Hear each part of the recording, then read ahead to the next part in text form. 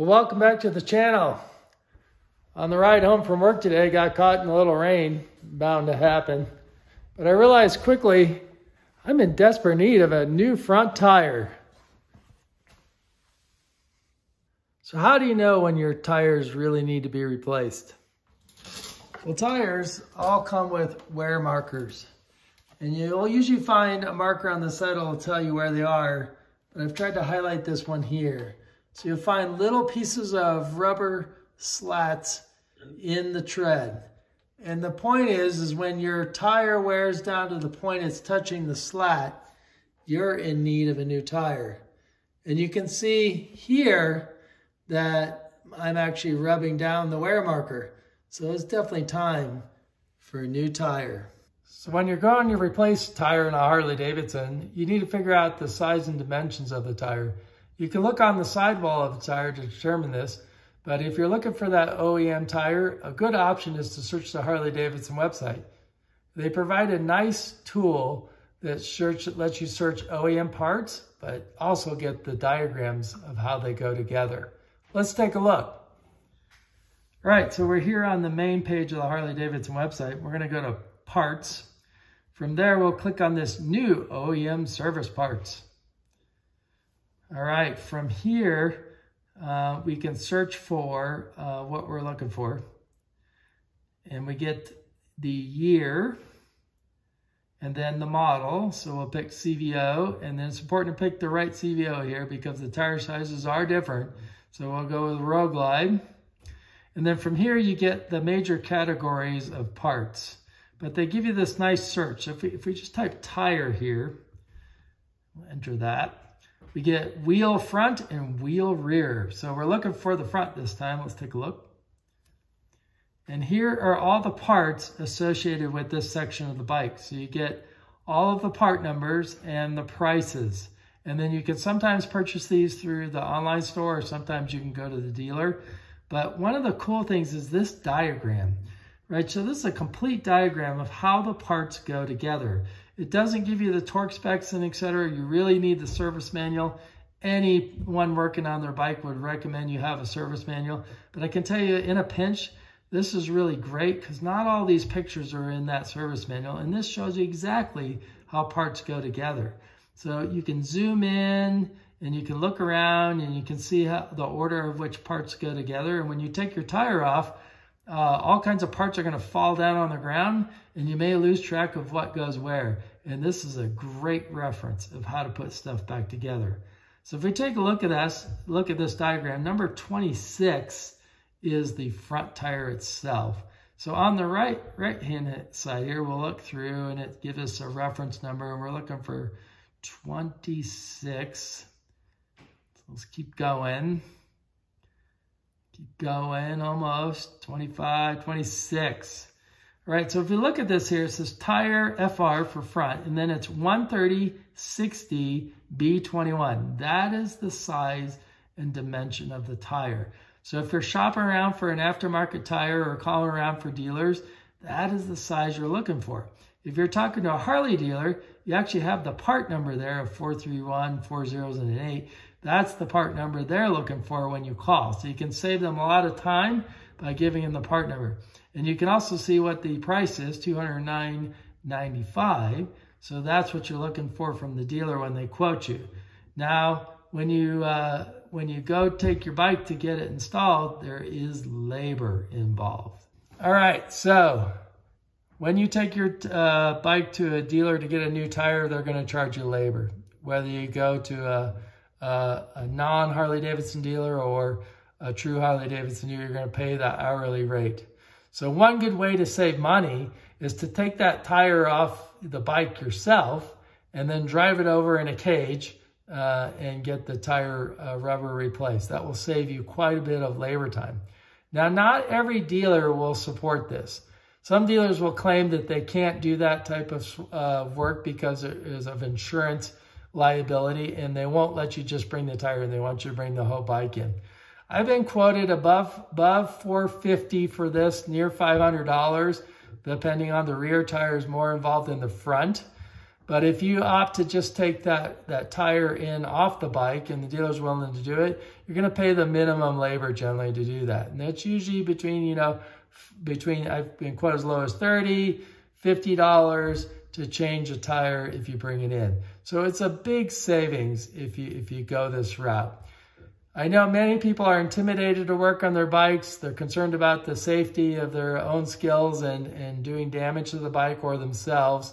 So I get that. But I can tell you many of these procedures are very simple.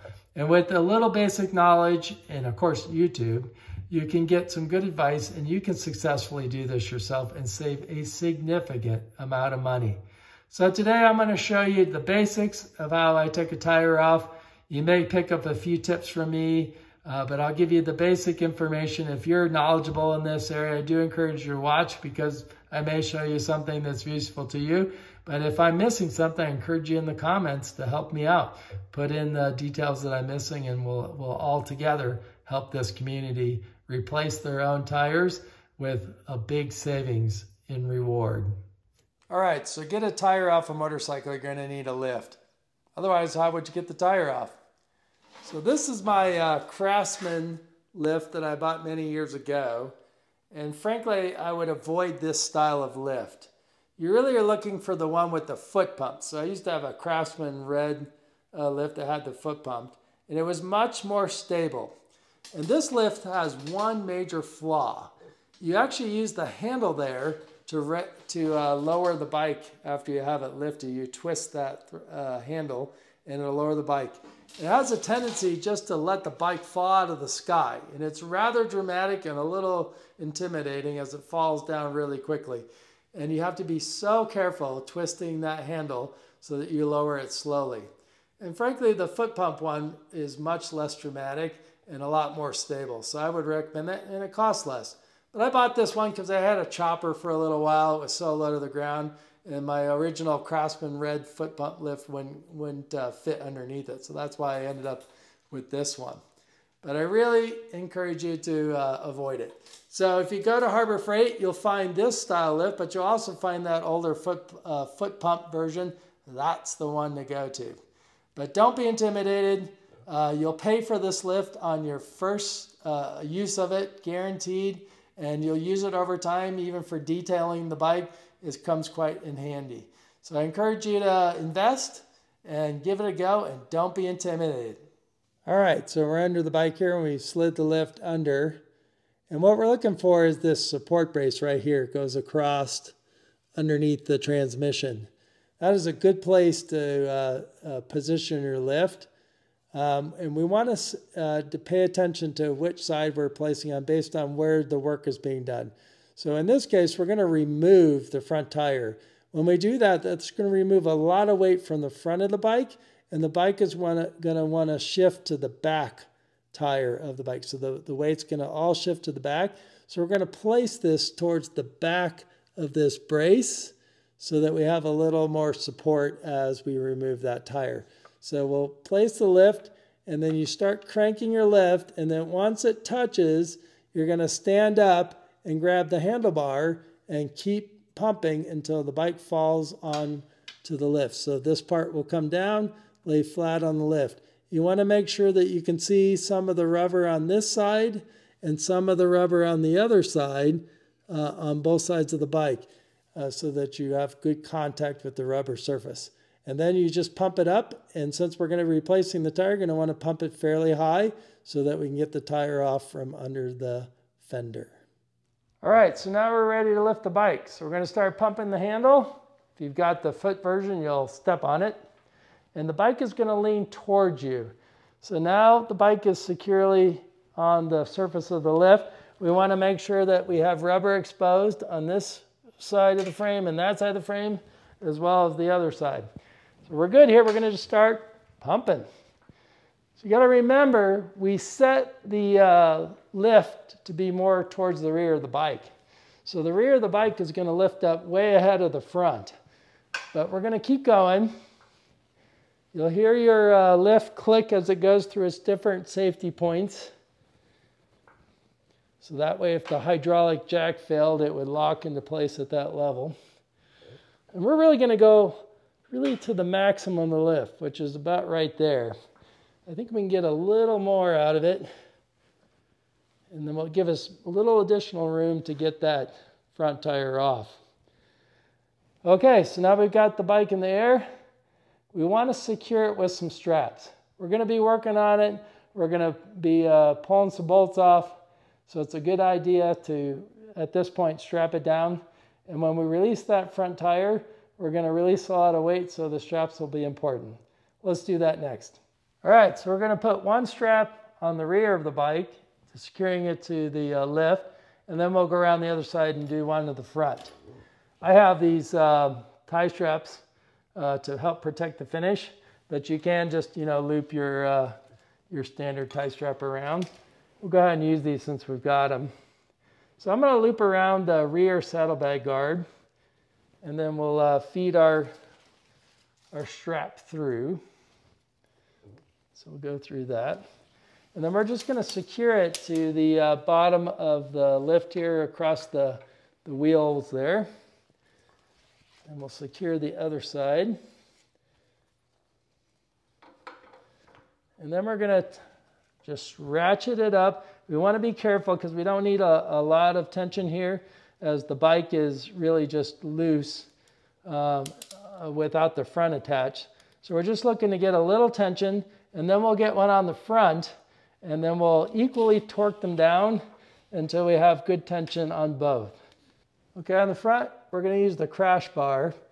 But one thing you gotta think, uh, think about when you're putting on tie straps, if, if you start it here at the top of the crash bar and you start putting tension on it, at some point it might just slide down all of a sudden releasing a whole bunch of tension and, and then the bike would be off balance. So I'm going to go around this uh, foot peg here because it's secure and in place. So we'll loop around that. Not a tremendous amount of tension here, so you don't need, about, need to worry about ripping your foot peg off. We're just looking to stabilize the bike as we work on it to reduce the wobble of it shifting from the front to the back on the lift. So we'll, uh, we'll secure it here and then we'll go down to the lift, find a secure spot to put the other end of the hook, and then we'll remove all the tension. Here, let's get that started. We'll open it up and we'll pull this through, get some of the slack out.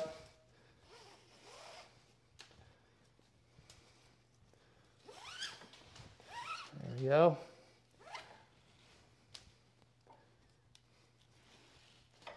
Okay, and then we'll engage the clicking mechanism here and start to winch it down.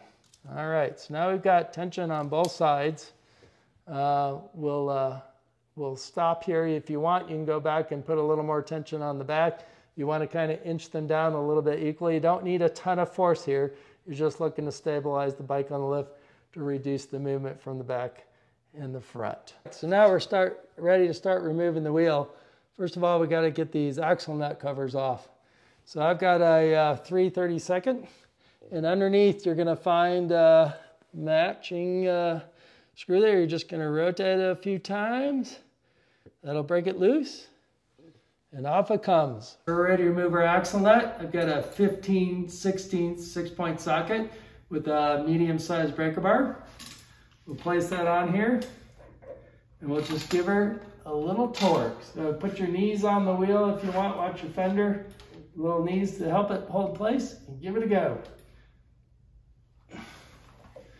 All right.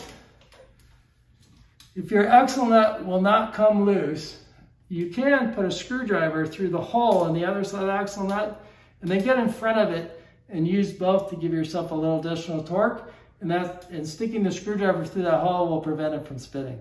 So on the other side, we have a pinch bolt that's holding this axle nut in. So we've got to loosen that so that we can then slide the axle out.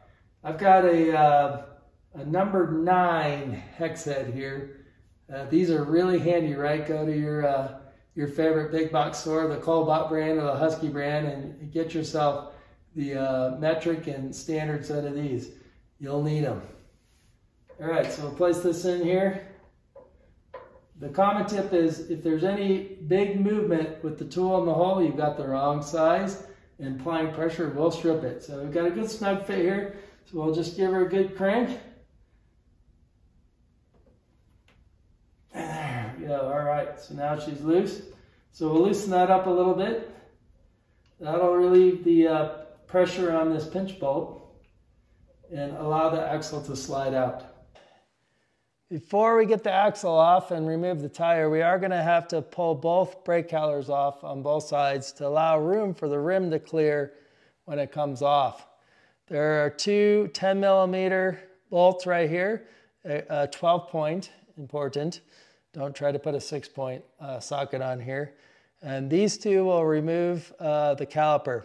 The caliper is attached by a brake line, but also there's an ABS sensor here that runs through the axle. So the ABS sensor is just clipped in here. You can just pop it out. Oops, there goes one of the clips. We'll pop this uh, third one out. Now that cord is loose. So that will stay uh, attached when, when we pull the caliper off. So you're gonna end up with this big heavy caliper attached to this brake line. This brake line is pretty strong and it can hold the weight of the caliper, uh, but uh, not a great idea just to let it dangle and uh, you got a lot of painted parts here. So we're gonna use a, a, bag. This is just a parts bag that I had laying around. The Crown uh, Royal bags uh, work well here and are, are pretty popular for this uh, purpose because they got a little cord and you can hang them around here, but I'm not a Crown Royal drinker, so I don't have that handy. So we're gonna go with this. So we're gonna do this uh, here and then we'll uh, do the other side and we'll be able to remove the axle. All right, so 12.10 millimeter and we'll give that a pop there and we'll go up the top.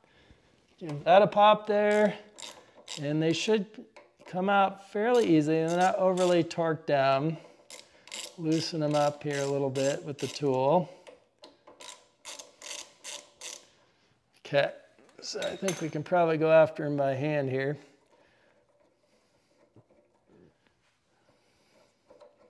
They're pretty long.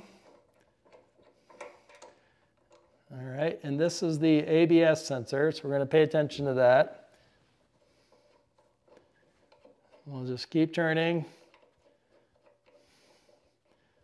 All right, so this is the ABS mount there, this part right here, and you can see it's attached to that cord. So that's going to stay behind because it goes through the axle. It'll come loose when we slide the axle out. So if we pull back a little bit here and we go down a little, clear the fender, your caliper will come out. And this is a great time to inspect your uh, brake pads and see what kind of wear you have here. I'm about halfway, I think, if I look at these marks here, uh, about halfway. You can take these the pins out at this time and, and clean them off. It's a great time to service your brakes when you got your wheel off. All right, so right now we're gonna cover this with a bag. A t-shirt works well as, as well. I've done that. Just slide in a t-shirt through the armhole or whatever. You just kind of want to cover it. And then you, you want to be careful. You are you do have joints here. You don't want to overly uh, torque them or try to or bend them. But if you're careful here, you can you can slide this around the crash bar and just kind of snuggle it in between the footboard and the crash bar. If you want, use a bungee uh, strap and strap it around if you're concerned about moving around. We won't be really moving this section of the bike, so it should be stable there. At this point, we're uh, ready to remove the axle. So I placed this mat underneath the tire, uh, covering both sides of it, because uh, when we move this axle, some parts are going to fall out. Uh, mainly the dust cover, and there's uh, spacers on each side. So it's, it's kind of tough to catch them. Sometimes you can do it, but if you should drop one, you got the mat there just to prevent any unnecessary ding. All right, so we're gonna remove the uh, axle nut the rest of the way. Should come off freely at this point. There's a washer that goes along with it. Again, that parts diagram in the Harley-Davidson parts manual there uh, will help us as to what order go things go back together. But if you keep things together as you take them off, it makes it easier. All right, so this is gonna be fairly snug um, because we have all the way the tire hanging on it. So one thing you can do is put your foot underneath it, just try to eliminate a little of that, and then a good rubber mount with a few soft taps should make it move. All right. so now we've got it started. We'll go to the other side and pull it through. Okay, with both calipers out of the way and our axle nut removed and we, we started the axle sliding over, we're ready to pull it out from this side. When we do that, the ABS sensor is going to come loose, the dust cover and the spacer is going to come out. And then on this side, we have another dust cover and a spacer that's going to come out. So I got the mat down as we talked about so they can just fall. If you're uh, coordinated enough, which I'm not, you might be able to catch them and avoid all that. Anyway, it should come out fairly easily. Again, we're going to put our foot underneath to relieve a little of the tension of the wheel hanging there. And you're just going to kind of twist and pull as you go. And the tire is heavy, so it's going to just fall. So you're going to have to eventually get a hand on the tire. So again, you, it'd be great to have an extra pair of hands, which we never do. So we're going to keep going here. You can see that's, that uh, ABS sensor is wanting to come loose. And so we'll eventually slide that out. There it is. Okay. So we'll just let that dangle. It's okay. All right. And then we're going to keep going. I'm going to get a good handle on the wheel here. Just grab as you go. All right. We're going to keep twisting and pulling. And if it's too hard, put a little pressure underneath it and your axle comes out. It's very greasy. It's got uh, anti-seize all over it. Okay, so we're gonna grab this uh, dust guard and spacer on the right side, set that aside, and our wheel is now loose. And if we did everything correctly, it's going to come down without anything grabbing and it's going to slide right out. So there we go. Wheel is off the bike. Nothing fell over or anything, so that's a good sign. So tomorrow I'm going to take it to the dealer and we'll get a new set of rubber on it and then put it back on.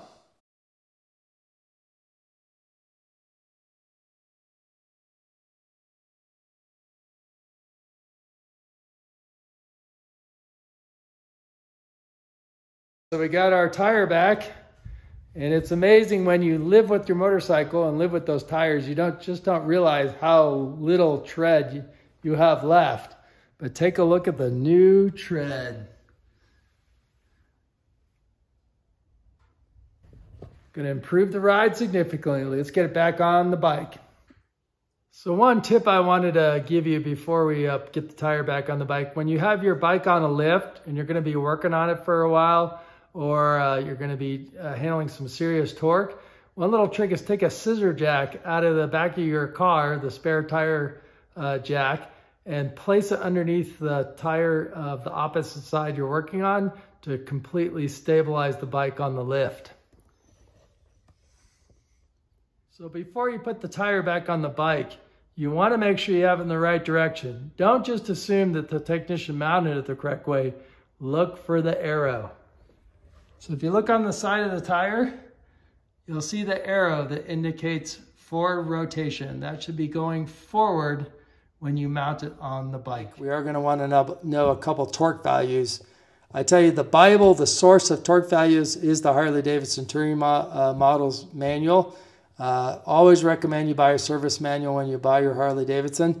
But you can also now get them digital uh, via the Harley Davidson website. And usually it's a sub subscription, so you could rent the manual for the project you're doing and then, uh, and then uh, just pay for that period of time.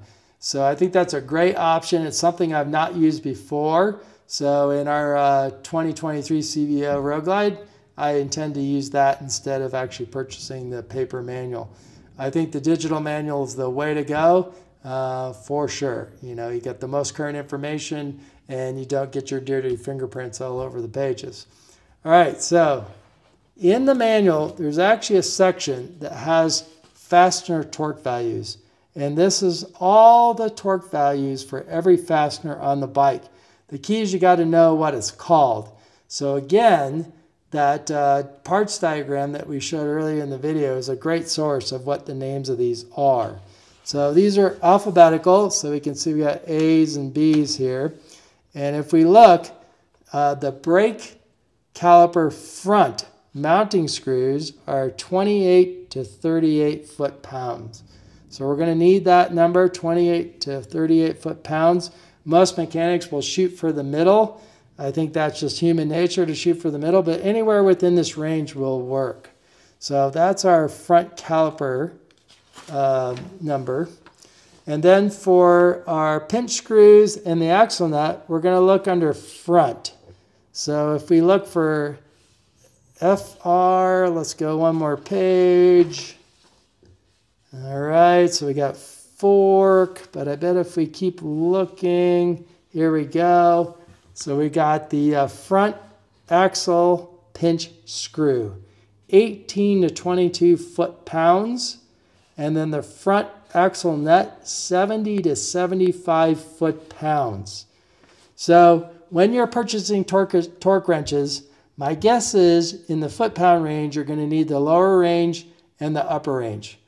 And I don't care if you buy a cheap one on Amazon or Harbor Freight, at least it's going to get you close.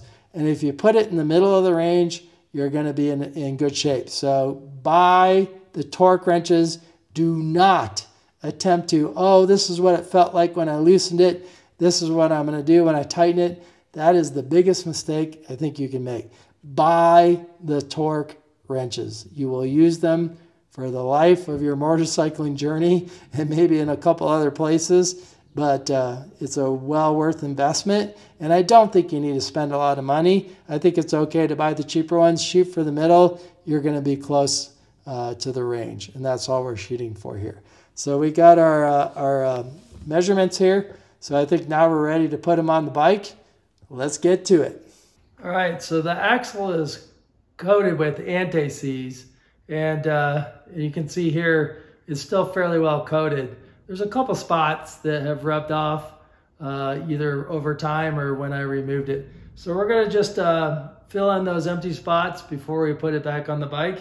And you're using just standard anti-seize. Right, so this is the tricky part.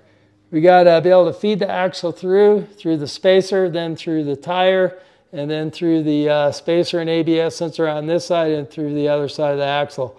Um, on the rear tire, I always use uh, that scissor jack. So I actually crank and raise the tire up and then you can feed it right through. I think another option here would be to lower the bike so where it's, it lines better here. But uh, we're just gonna muscle it here and see what happens. Um, if not, we'll lower the bike. Let's see how it goes here. So I'm just gonna line this up.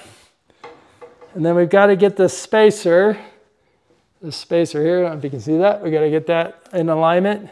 And then we'll feed the axle through and see if we can keep all pieces together.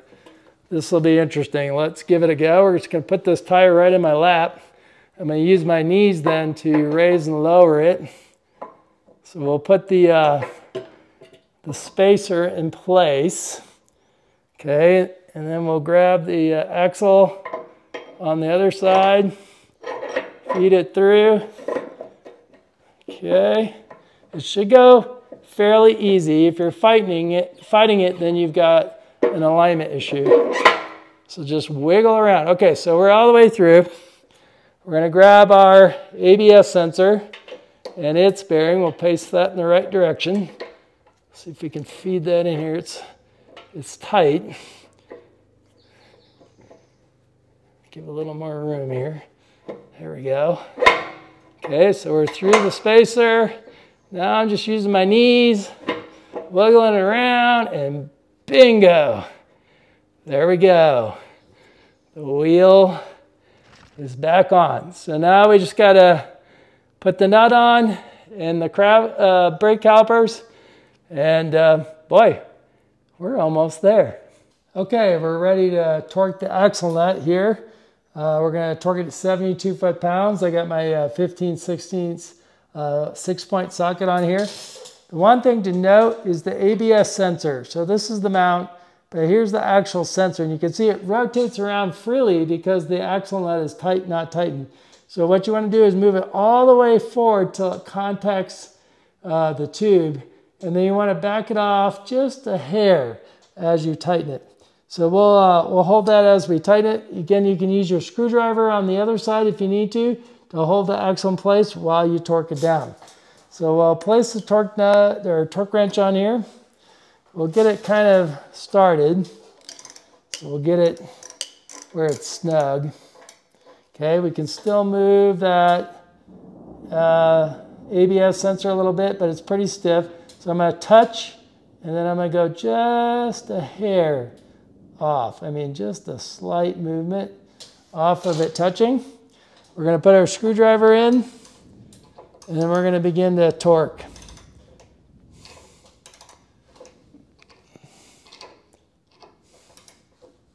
All right, so this is quite a bit of torque, 72 foot-pounds. So I got my knee on the tire and we're gonna put a little pressure with the knee and then a little muscle. Think one more, let's see. There it is, there's the first click. Now most guys like to hear two clicks. I think it's just a satisfying sound, which is why we do it twice, but really not required. All right, now we're ready for the pinch screw. So the pinch screw had no Loctite on it from the factory. There's no remaining Loctite. So I'm a firm believer if they don't put Loctite on, I'm not going to.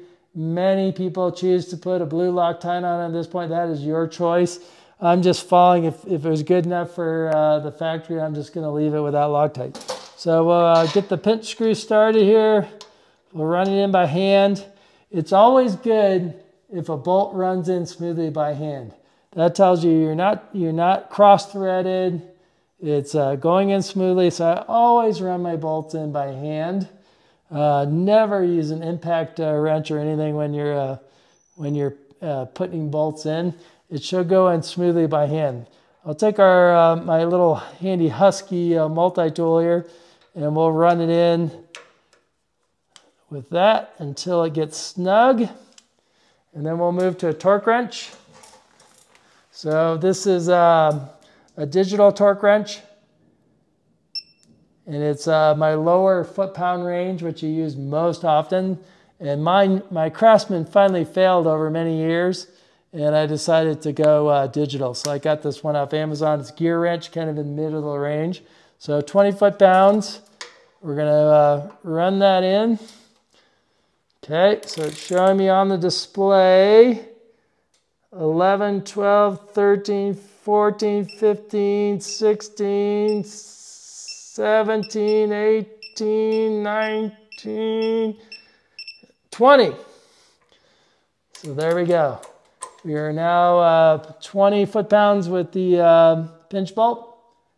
And uh, we are there. We just got to put the brake calipers on. Let's go for it. On this side, we got to be concerned about the ABS carrier. So the ABS sensor carrier is going to go on the outside of the fork. It fits right in, and the caliper is then to bolt over that. Get our caliper out of its cover.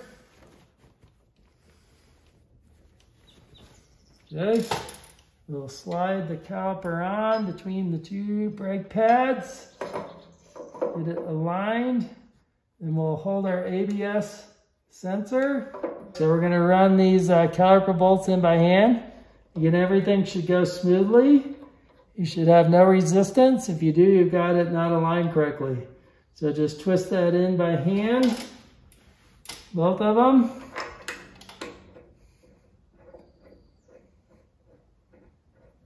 I'm holding the caliper, putting a little pressure on there just to get it to go in smoothly. It shouldn't resist you too much.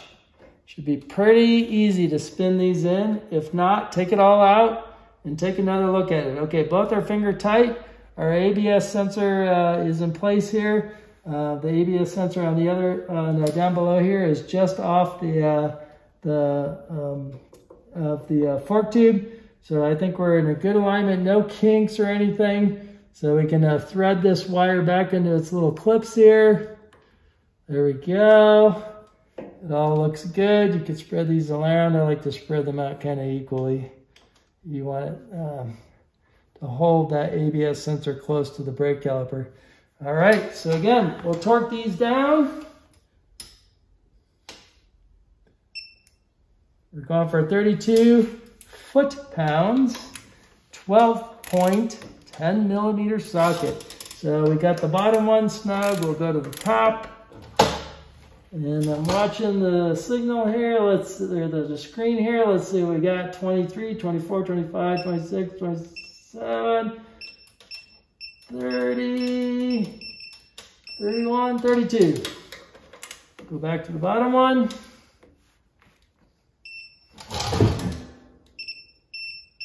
Thirty-two.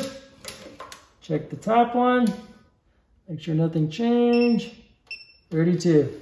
These axle nut covers have a set screw underneath. There's also, I noticed on this one, an extra hole here. So that I wonder if that is for uh, drainage. Because the set screw is only on one of them, and then uh, this one's empty. I wonder if that's drainage to prevent rust.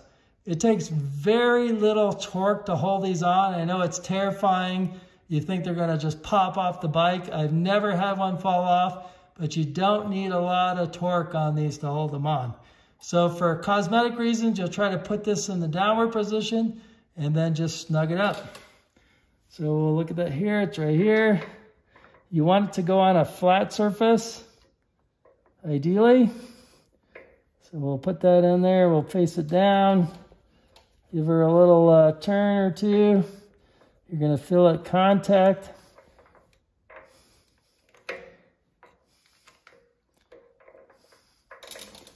Give it a good push inward. Little tricky with this tool. It's not the ideal tool. Okay, so once it gets pretty snug here, bend it up to give yourself a little extra.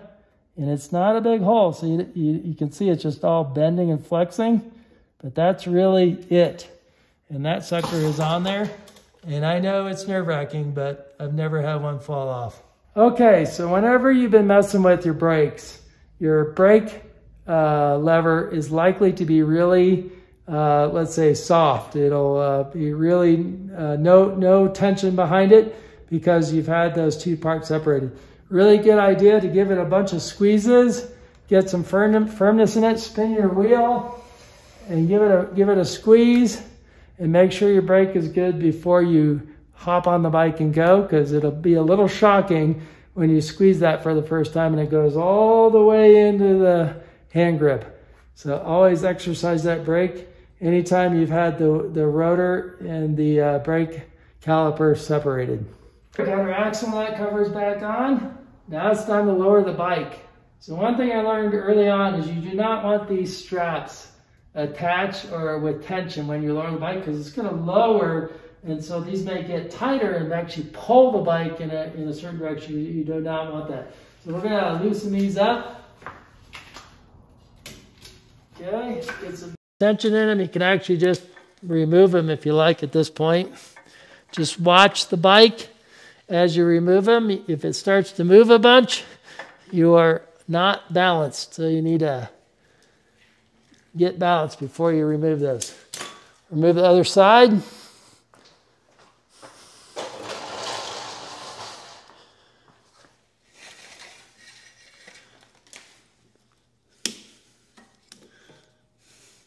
Okay, watching for any movement in the bike.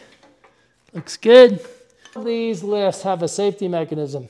And you have to lift that out of the way. And if it won't go, you got to put a little tension on it to get it to lift. Now, I warned you with this lift, if you just loosen this sucker, this bike is going to fall out of the sky. So we're going to loosen it very carefully. We're going to make sure our kickstand is down and in the lock, you know, where it'll align with the lock position. And we're going to slowly release it, keeping one hand on the bike at all times. You can see it's pretty quick. Lean, lean her over, release that all the way. And we've replaced our front tire. All right, well, we successfully changed the wheel of our CVO Road Glide and uh, we saved ourselves some cash. About 200 bucks, high end of the quote, 250 bucks. That means something. If you're not currently working on your bike, I encourage you to get out there and do so. The knowledge you'll gain uh, will serve you well. If you're traveling to Sturgis in the middle of nowhere and you hear a weird noise, uh, you'll have some knowledge to apply in that moment. There's a lot of resources out there, including this video So don't be intimidated. Get out there and work on your bike. One last tip in this video. Torque wrenches, the click type. When you store them, it's important to remove all the tension on the torque wrench. If you leave a torque wrench with tension on it, it's going to mess with the accuracy over time. So make sure you loosen it when you store it. I really want to thank you for your support in watching this video. All the subscribers and great comments has been outstanding. I really enjoyed sharing this information with you. Uh, get out there, work on your bike. It's just as rewarding as riding it. Until next time, in the friction zone.